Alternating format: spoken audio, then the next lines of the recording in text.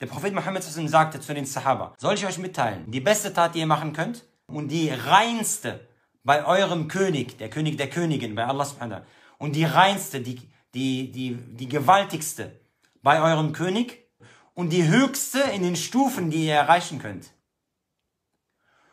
Und besser für euch, subhanallah, und besser für euch, dass ihr spendet mit Gold und Silber.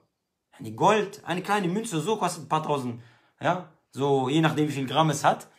Ja, subhanallah, direkt 3000 Euro, 5000 Euro, eine kleine Münze. Und diese Tat, die ich, von der ich euch ja, berichten will, ist besser für euch als das Ausgeben von Gold und Silber.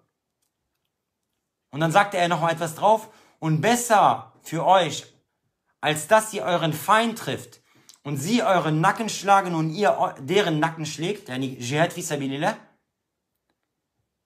dann sagen die Sahaba, Bella, ja Rasulallah, doch bitte sag es uns. Was, welche Tat ist besser als diese ganzen Sachen? Als Spenden und Kämpfen und, und äh, Stufen erhöhen und er sagte Dhikrullah, das Gedenken Allah subhanahu wa ta'ala. Aber natürlich kurz zu erwähnen, ja, damit man es nicht falsch versteht, so wie es die Gelehrten sagen und erklären, diesen Hadith darf man auch nicht falsch verstehen. Es gibt natürlich Zeiten, in dem das Spenden, ja, besser sein kann als Dhikrullah. Es gibt äh, Zei äh, Zeiten, wo der Jihad fi sabilillah, wo, man, wo der Kampf mit dem Körper größer ist bei Allah subhanahu wa ta'ala, ja, wenn zum Beispiel die Lage, ja, zum Beispiel du bist gerade in einem Land, wo es gerade Krieg gibt und du musst dich, deine Familie, ja, äh, verteidigen. Also ein Pflichtkampf, ja, dann ist das natürlich höher, weil die Pflicht ist immer höher als das, was freiwillig ist.